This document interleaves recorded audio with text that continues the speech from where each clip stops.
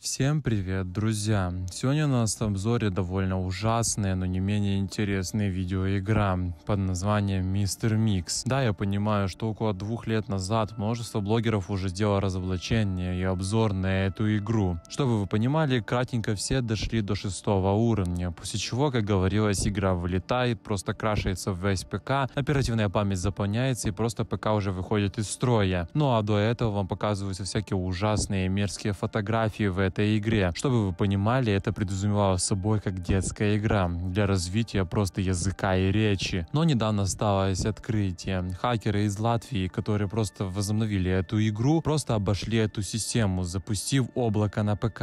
То есть тебя ПК буквально не крашится после этого шестого уровня, и они смогли добраться до финального, седьмого уровня. Сегодня я расскажу, что предусматривает собой эта игра и почему она считается самой ужасной. Также, почему же после шестого уровня не захотел ее проходить проходить, и почему же седьмой уровень считается буквально опасным для жизни человека в этой игре. Ну а на минутку напоминаю, это предусматривало собой как детскую игру для развития речи. Поэтому, друзья, кому интересно, мы начнем. Сначала давайте я вам кратенько расскажу, что вообще это за игра Мистер Микс. Она сделана просто в ужасной графике и в общем в ужасном дизайне, но игра довольно простенько предусматривает собой просто человека-повар, то есть довольно толстого человека, мужика, который тут стоит в виде повара. Ну и ты должен просто просто вписывать команды, которые он говорит. Это игра, то есть на развитие речи, на развитие описания. Чем быстрее ты пишешь, тем лучше для тебя. Каждый уровень до пятого уровня предусматривает собой просто быстрое описание, то есть назвы каких-то продуктов, назвы каких-то веществ и просто подобное, чтобы человек просто учился быстренько писать и учился быстренько писать правильно именно слова. Но потом начинается ужасное. Люди начали стали замечать, что на фоне этой игры при написании слов звучит просто ужасная и довольно страшная музыка. По факту здесь нету ничего того, но когда ты доходишь до пятого именно уровня, количество слов в минуту, которых тебе нужно вписать, это 500. Буквально физически человек не может написать столько слов в минуту, да еще и на ПК. Поэтому этот уровень сделали, получается, невозможным для прохождения. Но хакеры в то время просто смогли обойти эту систему через игровые файлы. Просто обошли и смогли попасть на самый легендарный пятый уровень и просто его обойти. Ну и там уже начинается самый ужасный классный шестой уровень, где по факту тебе не надо ничего писать, и тебе нужно только одно вписать слово «baby», после которого, если ты впишешь, начинается полная жесть. Множество ужасных картин людей, просто вообще не, неописуемое слово, друзья, так что если вы захотите посмотреть на эти картинки, я их просто показать на YouTube не могу. Так что кому интересно, что это были за ужасные картинки с людьми, просто максимально ужасном и неприятном стиле, это все будет в моем телеграм-канале. Короче говоря, эти кадры просто подходят для фильма «Пила», чтобы вы понимали, о чем идет речь. После чего, после этого уровня, игра начинала крашиться и вылетать. После многочисленных скримеров, которые ловил пользователь, его оперативная память заполнялась полностью. Все программы, которые были запущены на компьютере, также вылетают. Тухнет монитор и высвечивается всеми легендарный синий экран, то есть экран смерти,